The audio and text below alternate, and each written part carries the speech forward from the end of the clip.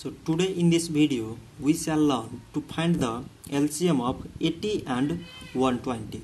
So to find LCM first of all we choose the lowest number that can exactly divide 80 and 120.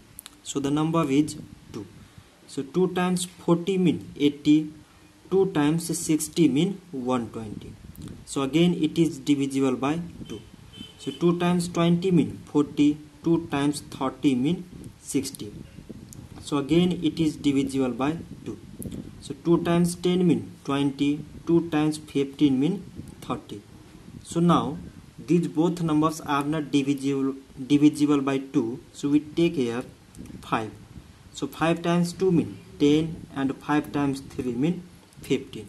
So at last we have 2 and 3 which are not exactly divisible by the same number. So its LCM is equal to from this part we have 2 times 2 times 2 times 5 and from this part we have 2 and 3.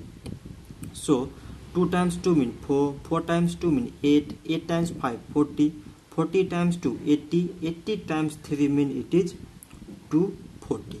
So 240 is the LCM of 80 and 120.